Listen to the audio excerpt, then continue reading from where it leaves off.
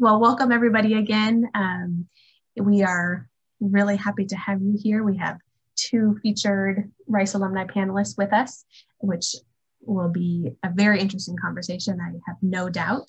Um, you know, when Paige and myself, I wanted to introduce ourselves first. Um, I, my name is Carrie Pius. I'm the Associate Director of the Alumni Relations team, um, and Paige Bonson is here with us as well. And she's our Assistant Director of the same Alumni Relations team. Um, and so we'll be your, your host moderators here today.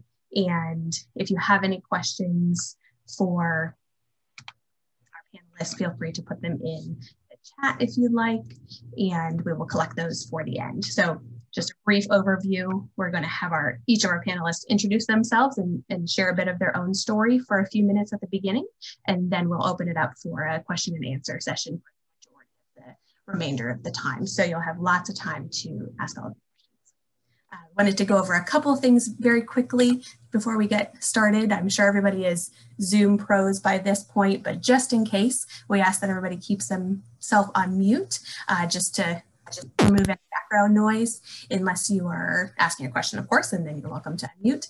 Uh, you're also, as I just mentioned, welcome to put questions in the chat. And a couple of, before we deep dive into this conversation, wanted to share a couple of upcoming opportunities as well for Rice alumni events in the near future. So if anybody is in the holiday spirit, in a, next week, we're having a holiday dessert recipe swap, uh, something fun um, and then I thought another possible of interest event for this group might be this one that's January 13th, uh, a little bit after the holidays, but Navigating a Modern Career with Mary Humiston. Um, you guys may have heard of her from this sphere for some reason, but founder of Modern Career, and she also has a podcast, um, and she is currently a strategic business advisor to Accenture as well. So she has a great uh, great background and lots of experience to share uh, for folks who are interested in career networking, which might be some of you. Um, and then the next one of this event series, so Spill the Coffee Beans, which are industry-based chats with a variety of different fields and alumni panelists that we invite, um, as you'll see today. Uh, the next one is going to be focused on the travel and hospitality industries. So that one should be timely and should also be a good, interesting talk. So we invite you to always check out what's going on at alumni.rice.edu. Uh, that's a good place for seeing all the upcoming events. So with that, we will move on to today's topic, which features these two lovely alumni panelists that you will see here on your screen. Um, so we have Alex Kurkowski, who is here with us, um, who is the founder of Tellinga, uh, which is a greeting cards company basically. Um, so I'm going to let him tell you a little bit more about that in just a moment. And, and then we have Geraldina Interiano Wise as well, who is a Houston-based artist, and she will let you into her world of art creation as well. Um, so I don't want to take all your your limelight here. I'm going to turn it over to, to Alex first to share your story with us. Sure. Yeah. Thank you for having me. I appreciate it. Great intro. Uh, my story um, starts uh, from, I guess, Houston. Uh, born and raised in Houston. Um, went to school, uh, undergrad at Texas Tech University. Uh, graduated from there. Then I, I, moved into the alcohol space where I used to be a marketer for Jim Beam and Patron.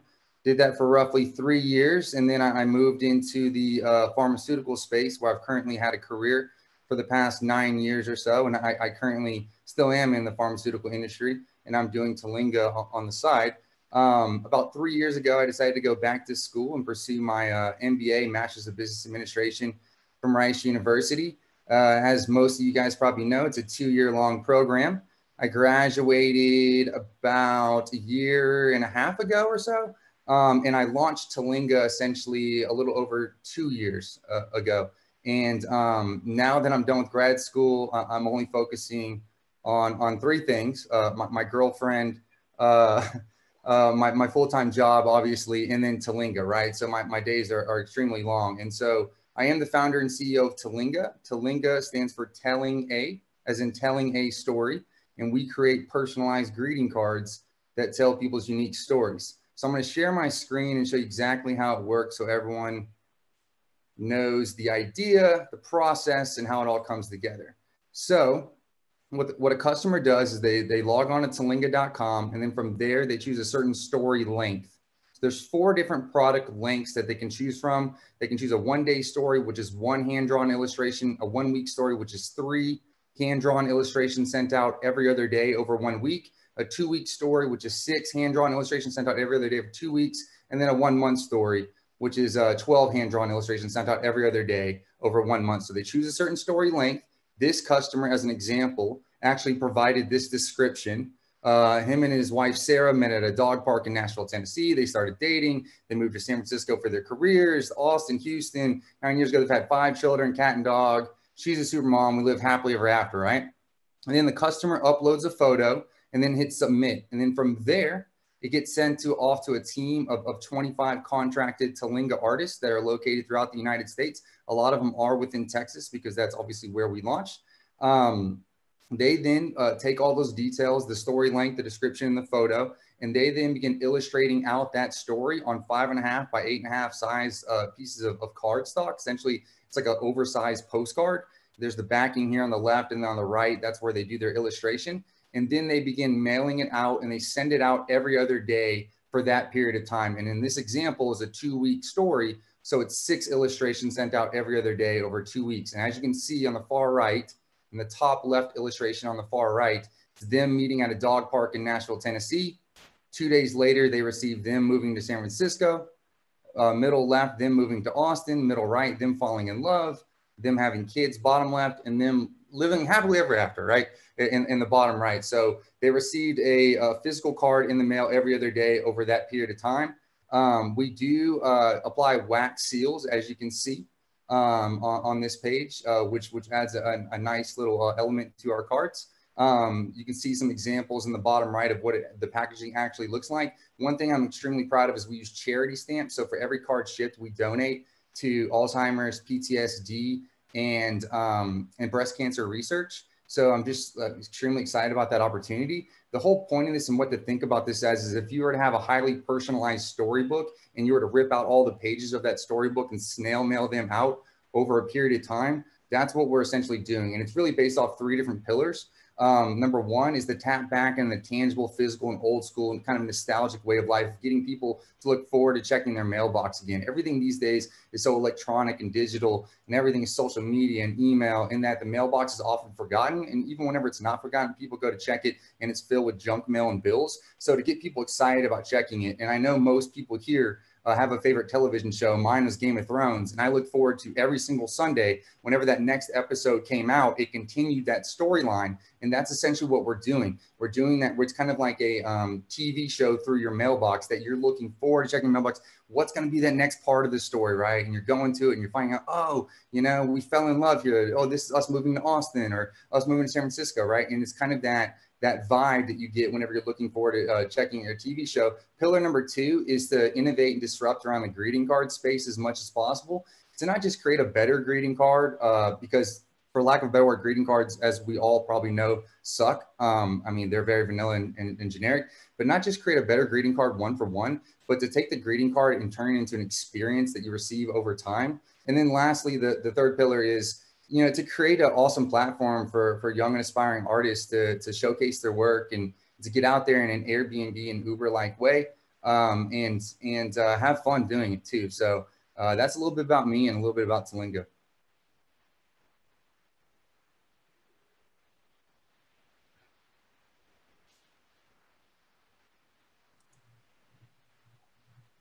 Thanks, so I guess I'm next. You are. Um, I am Geraldina Interiano Wise, and I um, my story does not start in Houston, but it sure has 43 years of Houston in it.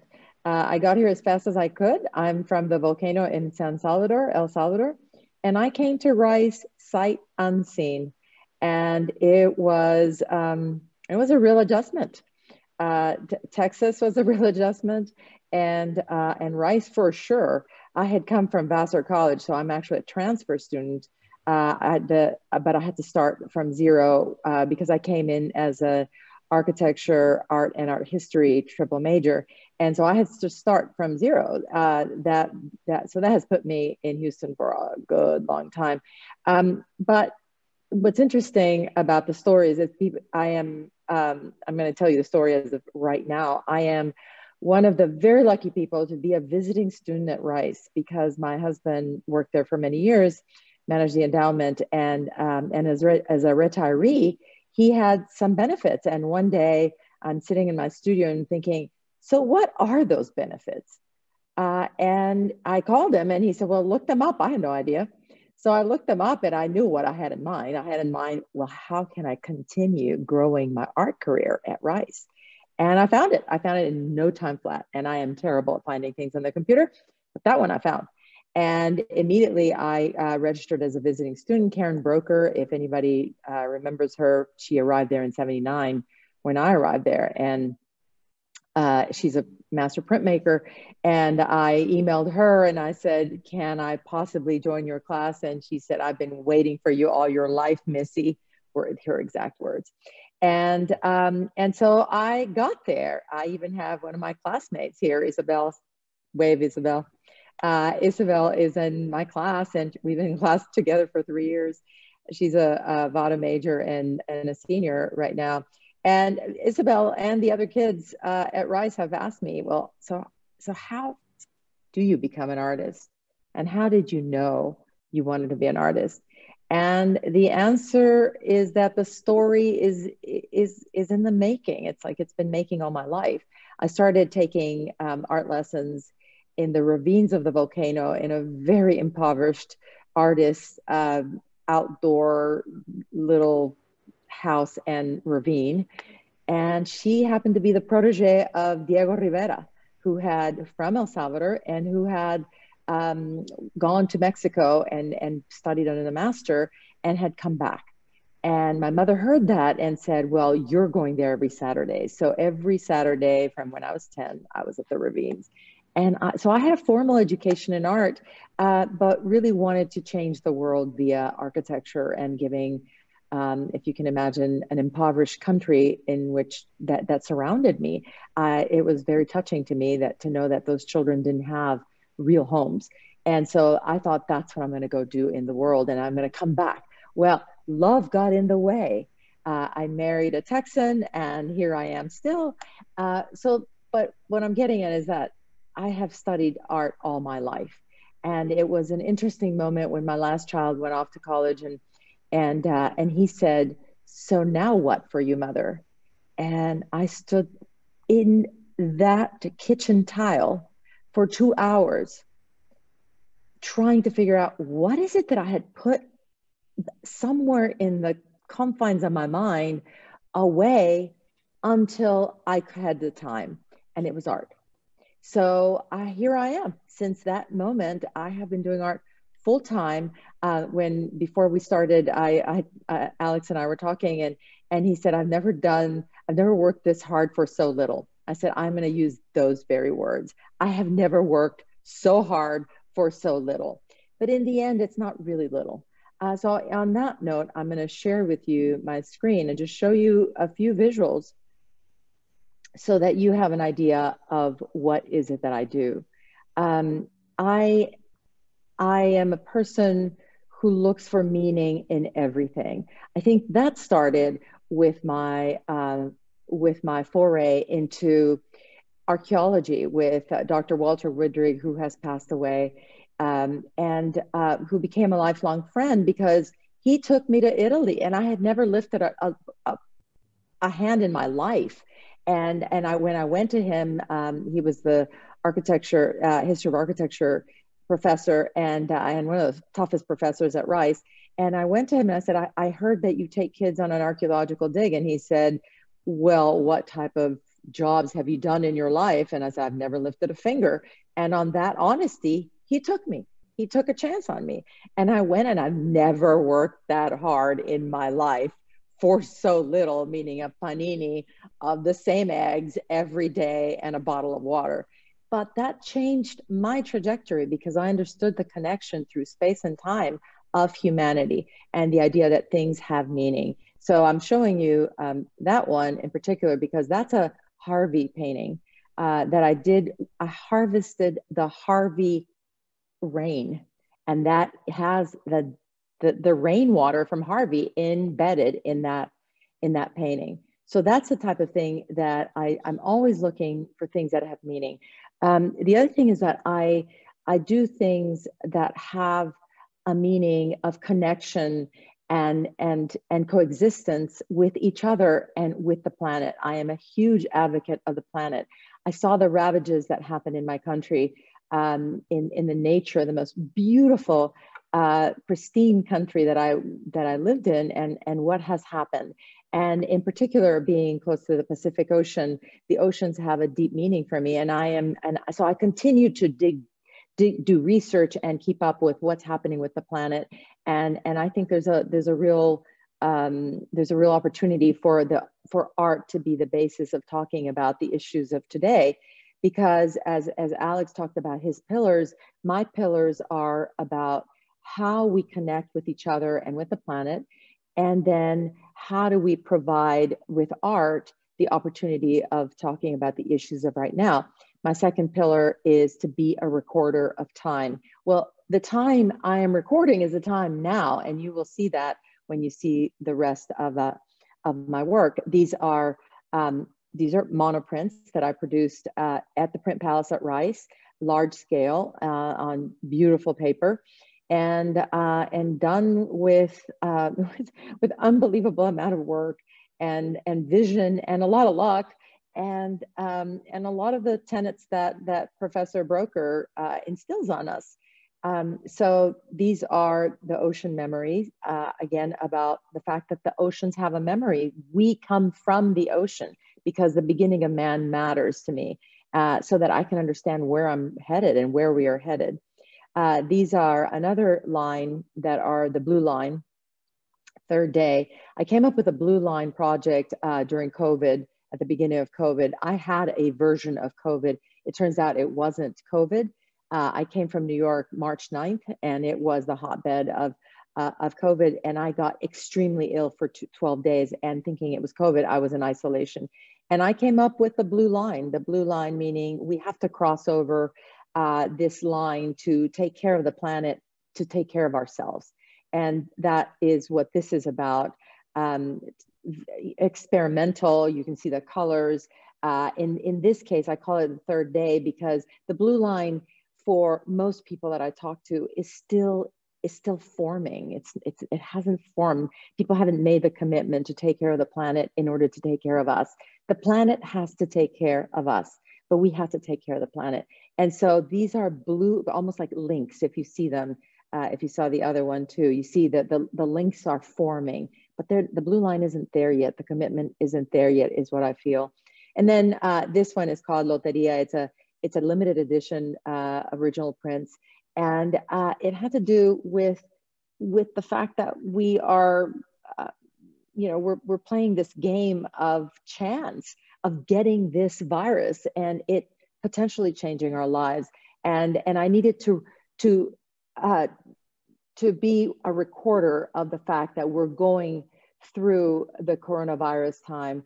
And, uh, and as you can see in the visuals, I, I chose intense colors because there's intense feelings about all this and and there's a lot of turmoil but i toned it down in the background this is a multi-plate etching that i'm very proud of uh, seemingly simple but it it it has a lot of meaning and uh, and I have a limited edition of those available. And then with one of those uh, plates, I then did some, some um, collages that are about COVID-19. And in this one, you can see the red on the, on the edge. It's almost like a red tear for those that, that, we, that have left us because of coronavirus.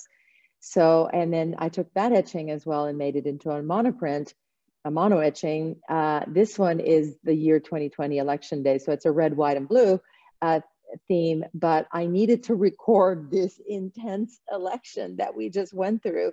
Uh, and that's what art is about. Um, but I also find meaning in materials. So in this case, uh, this is a sculpture that I did this year during coronavirus um, in, in collaboration with uh, John Cryer, uh, who's an architect that is doing uh, that is doing sculpture as well. And in this case, we salvaged the Ro Rothko Chapel baffle decommissioned panels. They are really just basic panels that came out of there for for their um, for their new Rothko Chapel uh, remodel. And uh, and I said, but those have been bouncing off the Texas light that Christopher Rothko in New York uh, drew in a in a napkin and sent it to, to Texas to then be reproduced as what we know as the Rothko Chapel. But he had no idea about the intensity of the light of the sunlight in, in Houston.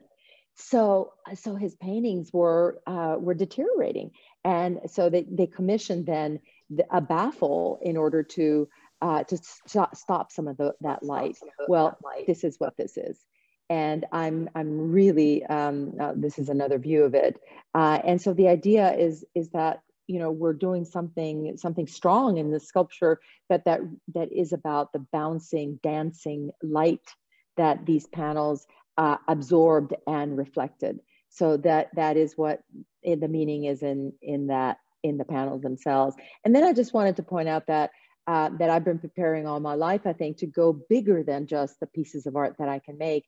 And in this case, you're seeing the um, the collaboration. One of the collaborations that I that I have done uh, with uh, Dr. Brandt out of the Shepherd School at Rice, who's the artistic director of Musiqa here in Houston. And so I did a live painting performance in the uh, at the Match Theater last year, and to the music of uh, Annie Gosfield, a, a, modern classical composer out of New York. And it was um, a really deep experience. And another collaboration that I'm doing uh, that is a longitudinal collaboration is with Dr. Uh, Jose Contreras Vidal at, uh, at University of Houston. He's the head of the Brain Center in engineering over there. And I'm showing you here how I am wearing a brain cap that is a brain computer um, interface that is in real time. Um, I'm wearing a cap there in this, uh, in this visual. Uh, a, a, one of the Nahual um, projects that I do live, wearing the cap, capturing my my brain waves in real time while I am producing and creating. So the whole idea behind this collaboration is trying to figure out scientifically where are what is the basis of creativity in the brain? Because we believe that uh, creativity is when the human brain is at its best. And so for medicine for uh, for all kinds of rehabilitation of mental health, et cetera.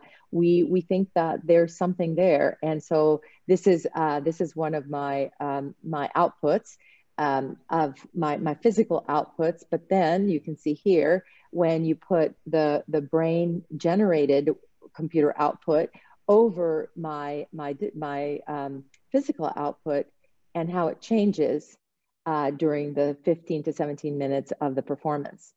And then I just want to uh, leave you with my, my last visual, which is one that I'm trying to, um, uh, to expand because I, I, do believe that as a recorder of time, the time is now to be able to educate people through art and, uh, and, and, and create empathy. And in this case, it's called One Human Race. And uh, this is about the, the, the genetic, the gene SLC24A5, which gave way to white skin in Northern Europe probably as much as 7,000 years ago, which is nothing in the space time continuum. So, white skin has only been around for about 7,000 years. And, and I think it's a really important thing to note that, that the genetic makeup of the human race is one. And that, that we really should just stop looking at the differences and look at everything that, uh, that that unites us, which is why I really, that's why I do art. Thank you so much to both of you for sharing all of your stories. And we have a couple of questions already coming in, so we'll, we'll get right to it. Um, I wanted to just comment first and you know, when Paige and I were talking about this event, we we're trying to find some sort of common thread within the world of the arts, which is such a vast category or field just in itself. And so we were talking about how to craft a story through art and how to tell your story. So I, at face value, the two of you are, are so different in your work, but yet you're still finding a way to share those stories of either it's your own or on behalf of other people. And I just think that's really fascinating. So curious to hear more about that. And, and also we've got some good questions coming in. So uh, let's see. Uh, Kevin, I know someone right to me, but I'm just going to read it out loud if you don't mind. Um, so Kevin says, we live in a world saturated with visual media. What have you learned that gets folks to engage with your art and understand the value you create? Um, Alex, you want to start that one off? Yeah, I'm still struggling with that. And, and it's, uh, it's so extremely hard. And, and I get why uh, that question was asked because I feel like that every artist uh, that bothers every artist, uh, high and low, no matter how successful you are. Um, it's it's extremely tough. Uh, how do you get them to value it? For me, the answer to most to all of of those questions, the questions related to to what you asked is marketing, is is high level, very targeted, specific marketing. And you put it in front of their face and and therefore they value it right? And and you put it where there's eyeballs. And i feel like the answer to a lot of those questions is is always going to is go back to how many people are, are, are you putting you, you, know your product in front of your artwork in front of? Uh, are you doing it in front of the right people um, you know uh, what is what is the value? Are, are you able to clearly demonstrate your value proposition to them? Um, and there's so many different questions that that come from from a marketing approach but I, I, think i think it's it's really tough for me to answer that question. And I, and I think it's almost a cop out for me to say marketing's the answer but i'm taking that cop out right now because i feel like that's the most truthful and honest um, answer i can give to, that to that question is, is just high level targeted digital marketing. Um, I, I don't think that Alex is wrong about the marketing, um, in particular because as far as my work is concerned, there's such a conceptual level, uh, and and and I'm operating in the in the world of neuroaesthetics and new media uh, with artificial intelligence, and this is um, the story has to be told, and so uh, I was really happy that I get to tell my story here, even though I had to rush through it because we only have one hour together. But, but it's I think it's when people understand the story and the intent behind art, uh, and that coupled with your uh, your personal aesthetic uh, or your personal uh, aperture to new ideas, uh, that's when value happens. Um, I actually spoke to um, the, the last dean of social sciences, Antonio Merlo, is, um, is, a, is an economist. I'm, I don't know if anybody knows him, but he's now the dean of um, arts and sciences at NYU. And when he first arrived at Rice, I, I, you know, he's Italian, like I'm half Italian, half Maya, and uh, and so we connected immediately. And I said to him, look, there is, there's got to be a different way in which we uh, we create value for artists because this is a really this is an, an ever um, evergreen kind of problem. And he said there are there are new models that could be introduced in economic models to then put together uh, people with walls and people who produce things for walls and then let that marketplace uh, you know show where the values are so i think that those things are going to come apparently there is a um, uh, there is an economist at Rice who's working on those type of things. I have to connect back with him, but uh, but I I think you know techno- the technology uh, platforms are a game changer. Instagram, if if any of you have Instagram, uh, please follow me at wise under slash arts.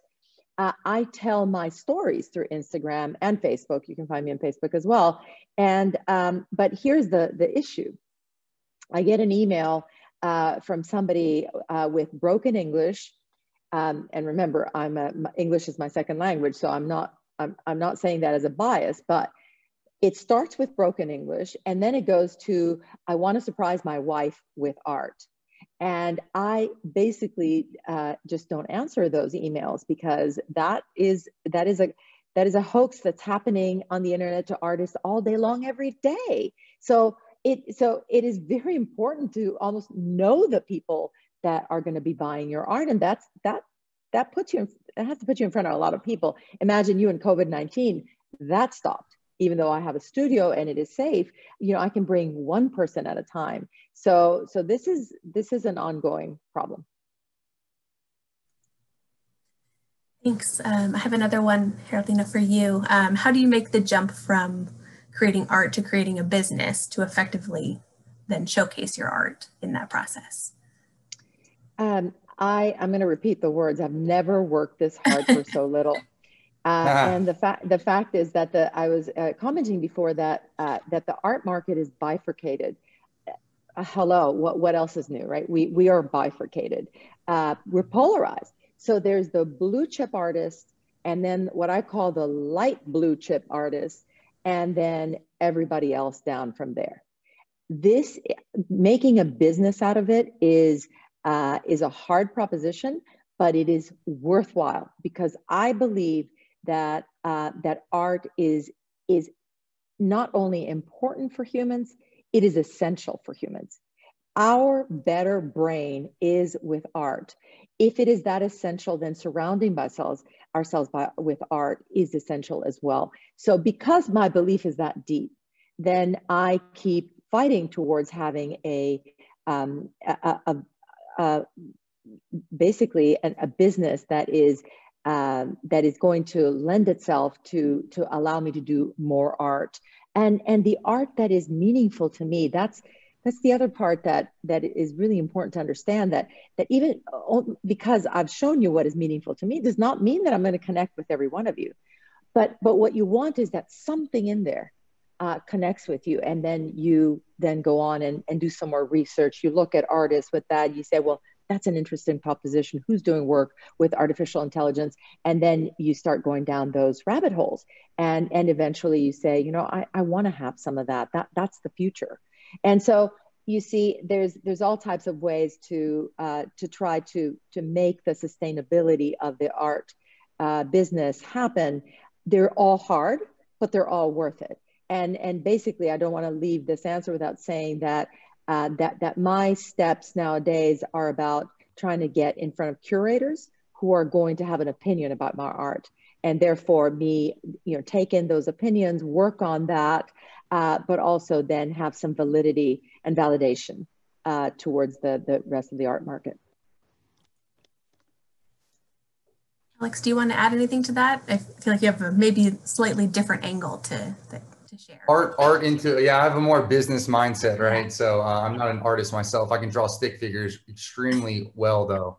Um, I can tell a decent story, but it, it's more of a, a, business mindset, marketing mindset that I definitely have. Uh, so I'm just going to rattle off a few things. Um, I knew this question would come up, and so I took a few notes uh, that could be helpful for some some people that you know are great illustrators and artists, but then they're stuck. Where do I go next? What do I do? Right? Like how do I monetize my efforts?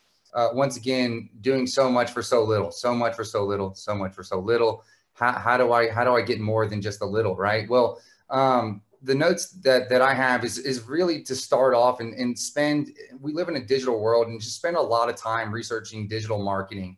Um, I would highly recommend. I know Rice offers courses uh, on search engine optimization and search engine marketing.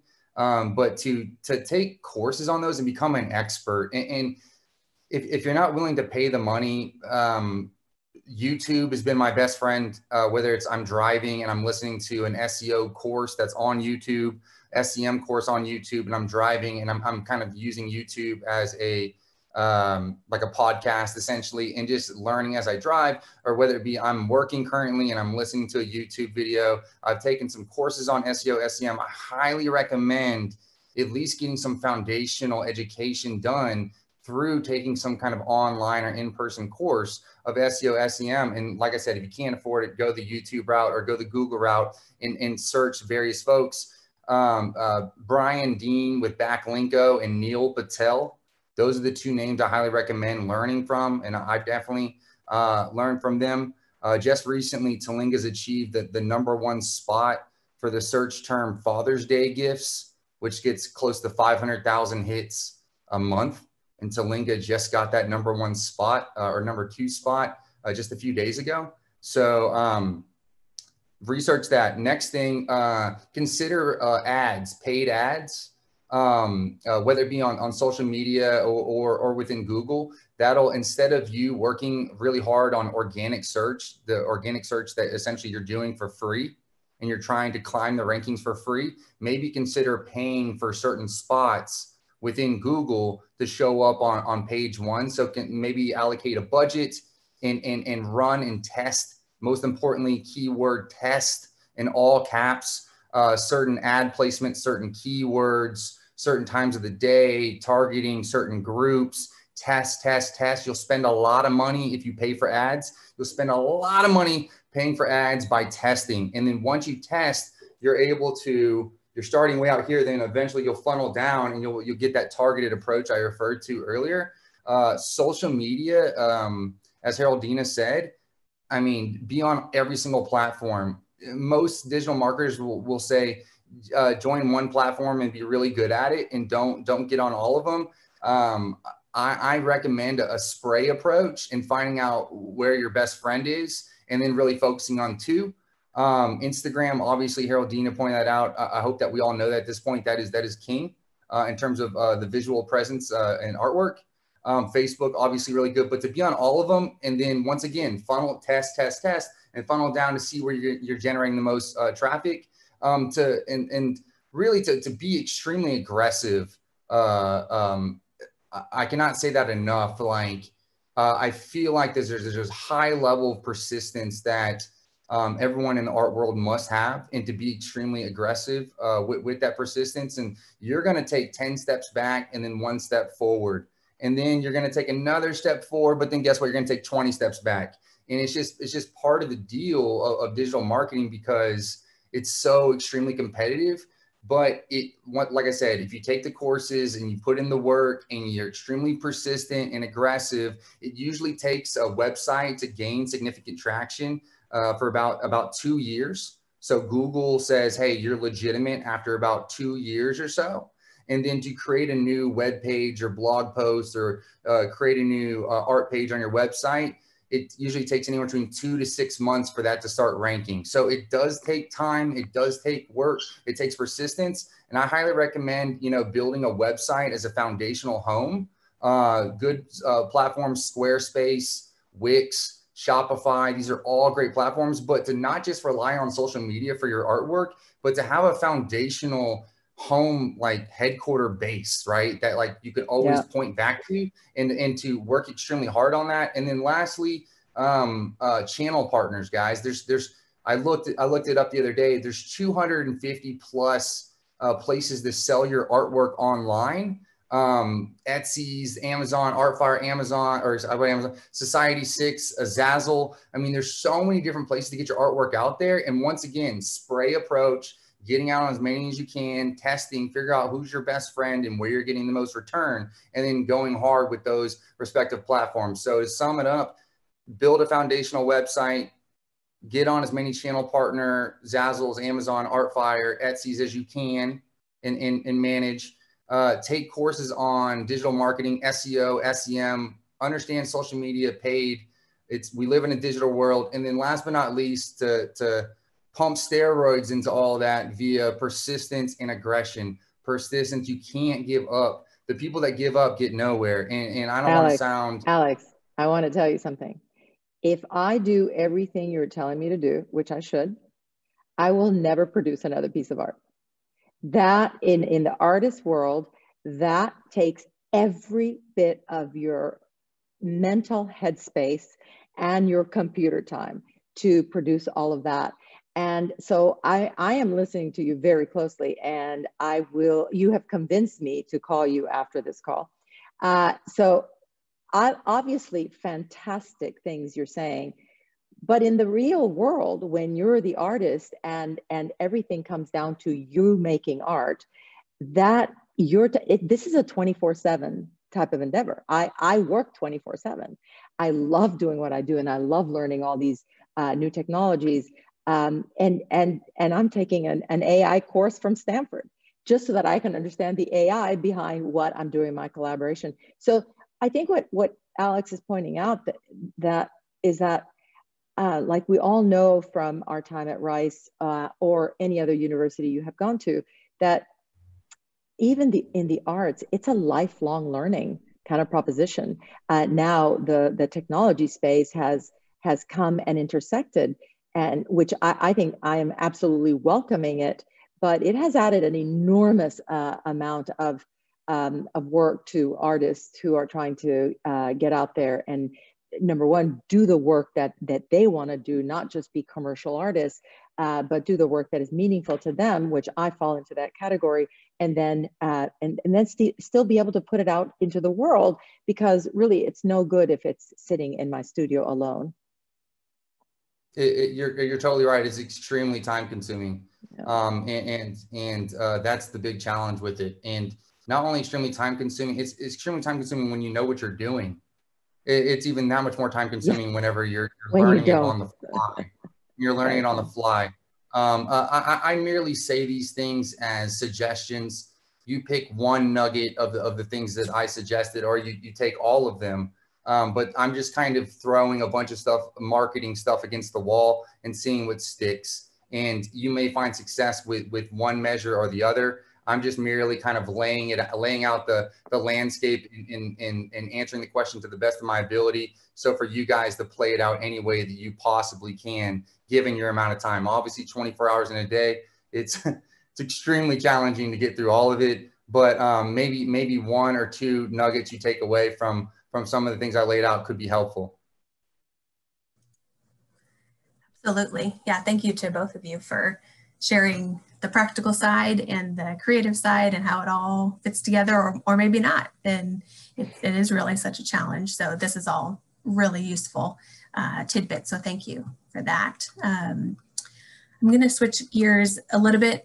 Uh, we have some other questions that have been in the chat. Um, so from one from Crystal, uh, if you had to leave on this earth only one piece of your artwork, which would it be and why? Um, so Alex, maybe for you, if you could I'm going to tweak that a little bit. Um, is there one request for a card series that's been the most memorable for you? I'm gonna sure, yeah. Um, I, there's, so, there's so many weird ones. Uh, we tell a bunch of love stories, which is awesome. Um, we, we told a bunch of COVID stories. It's like it's a unique way to people connected during COVID. It's a whole lot of fun. Um, the love stories are really cool, especially like the proposal stories that we tell. Um, the, the coolest story from me is is like probably the first one um the first one that we got outside of my friends and family it was so hard to start up and i was just trying my absolute best to get it off the ground and uh, i was getting my friends and family to purchase these just to produce artwork right but um so the first one i actually wrote it down right here or let me you know what let me share my screen real fast i'll just show you it it's so goofy okay so this right here this story here. So a nasty storm that develops causing lightning to strike Jack, and, Jack from Jack in the Box. Jack becomes evil and grows to enormous size. It's almost unstoppable. His goal is to take out the rest of the fast food restaurants and he rampage throughout the city. And then uh, Jody, husband Taylor, have to uh, take them down with their superhero powers. And they essentially have superhero powers from their favorite video games growing up. So extremely goofy, uh, very fun story one of the early buys outside of my circle. And so, as you can see here, Jack in the Box, he takes over the city. Then they morph into Mario and Princess Peach, and then into Zelda and Link, and then to Master Chief, and then Sonic, and then there's kind of a resolution at the very end. So this has been the kind of the quirkiest one. It's a lot of fun to talk about. Um, and this was my vision early on of, of starting Tellinga is, is telling these types of stories, but it's definitely morphed into transition into a more love story based uh, product for sure. Awesome.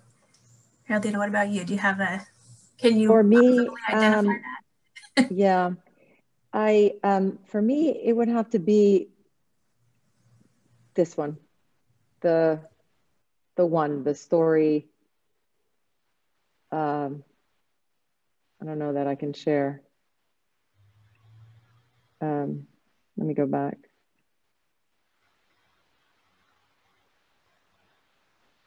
Yeah, that one.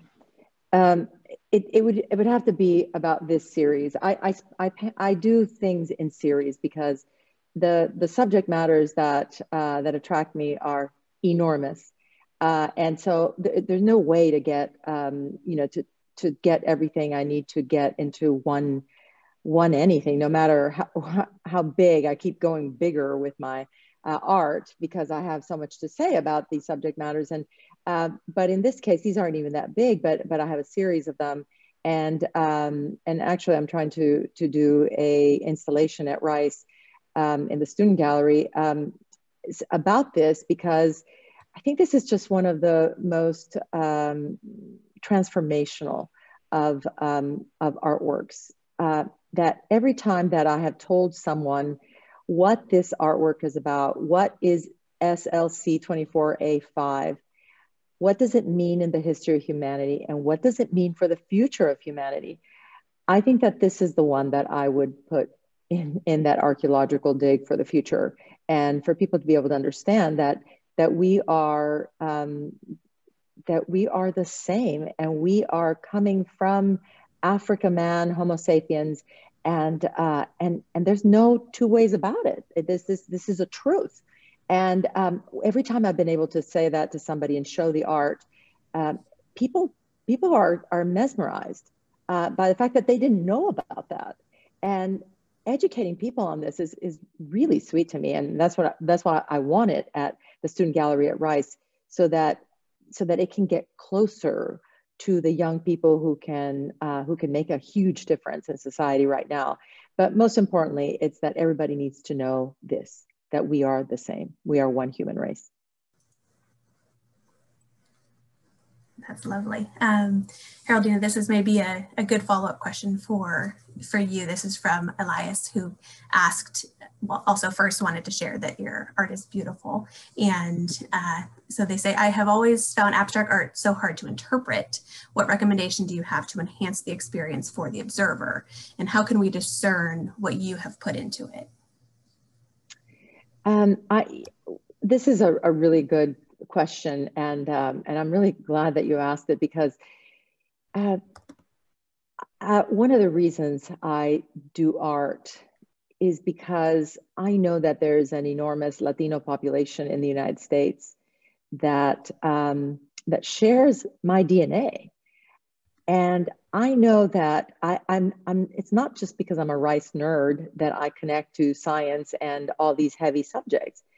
I brought that with me to Rice that came from my Maya intellectual patrimony. I just had to connect to that. And, and one of the reasons I do art is to try to reach Latino young people and be able to tell them they too have that knowledge inside. So we all have that knowledge inside. So now, how do we go about understanding it? And really, to me, it's about um, looking at art and allowing yourself to be in that space with the art. That's why museum going, gallery going is, is a really beautiful way to look at things. I didn't understand uh, uh, the French until I went to Paris and I went and, and stayed with them. And, and then I went playing games with them, like in this unbelievable Monet water lily garden, enormous as you know they are. What would have been his last mark? And I went digging into what would have been the possible way in which he laid down the marks. Well, you can do the same with my art. And that will actually tell a story that that in itself is unbelievably interesting. Once you know, once you are able to decode how a painting is done, how a piece of art is done, I think that that you're in. And then it's about the feelings.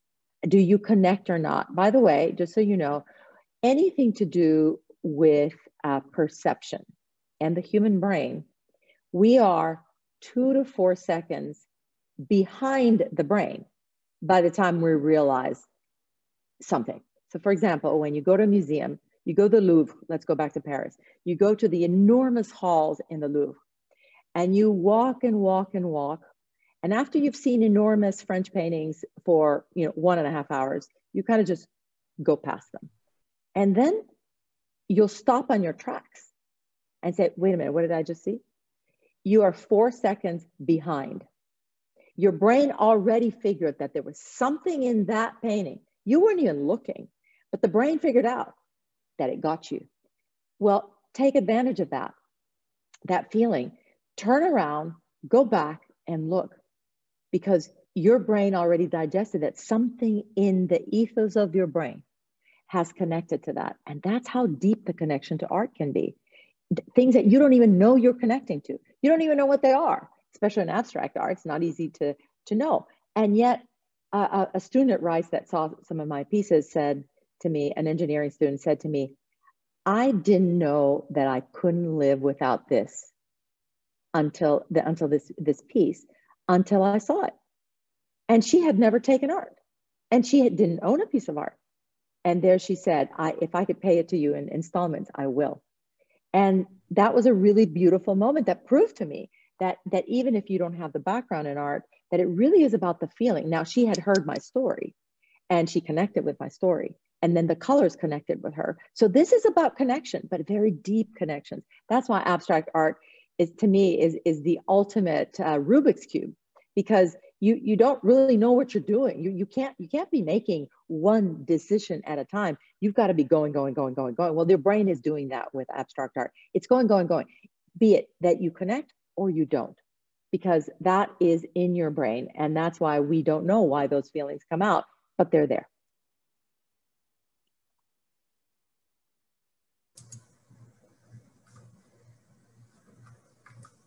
Perfect. Well, we are just about at the end of the hour somehow already. Um, we have maybe time for one more quick, quick answer um, that I think I'm just going to go back to the old faithful question of what advice do you have for a new artist? Similar to what you were just saying, Geraldina, but what if someone is considering, because I know I've seen in the chat a, a number of people who are, you know, are doing this on the side and considering selling their work or, or whatever it may be, do you have any advice for someone who is in that mind space of, of trying to decide to take the next step? Is there, you know, we've heard some really great practical tools from Alex as well. And so I'd love to hear, you know, one one last sentence from each of you to to share that before we close up today. I think you have to have you have to have the concept clear as to why do you do art. And once you have that concept clear, you're going to edit, edit, edit. I, you know, anything to do with representational, I do not do. I edit, edit. That was my my way. My vocabulary is abstract. I stick with the abstract. I go digging deeply into the abstract world, and I keep growing. Uh, important to know why you do the art. Important to know what your concepts are. Important to know what your vocabulary is. Important to know well, how do you make that art? That is basically your artist statement. When you can write an artist statement, and mine is in my website if anybody wants to see it, but when you can write an, an, an artist statement and it is meaningful to you and it says what's inside of you, that's when you you know you have the basis for being an artist. Needless to say, we continue to grow tools. Uh, um, I, I take I have taken classes at Glassell. I take uh, classes at Rice. I and, and I continue to uh, to do research and I continue to do collaborations. And so it's a growth. It it it, it you cannot be a stagnant artist. It's never going to work. You've got to grow. So you need to establish your path of growth and you have to establish your tools that you're the tools that you're going to use that are that make you that particular artist. Wonderful. Alex, do you have any final thoughts you'd like to share? Yeah, sure. Um, I'd like to thank everyone, obviously, for their time. It's been a very humbling experience, and I'm so appreciative that Rice thought of Tellinga in a way to be successful enough to, to talk with you guys, and just means so much to me. And, and thank everyone for, for being here uh, from the bottom of my heart. Um, I'll keep it short and sweet. I really just think that, and it sounds cliche to say this, but really find out what you love to do. I think find out what you love to do and really identify what you want to do and, and, and, and let your passion guide you. I know you probably read that in the fortune cookie and it, you're rolling your eyes and that's so cheesy, but like I sincerely mean that. And if I can make it sound not so cheesy, I, I, I would I I would, but I feel like that's the best way I can put it. That and lastly, really just being will be willing to step outside your comfort zone and try something you've never done before.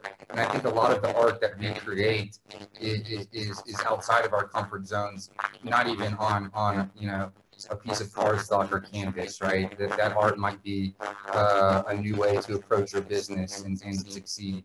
Um, and, and that in itself is, is, is art, right? And so being willing to step outside your comfort zone as much as you possibly can. So that's my, my two cents. Thanks everyone for tuning in.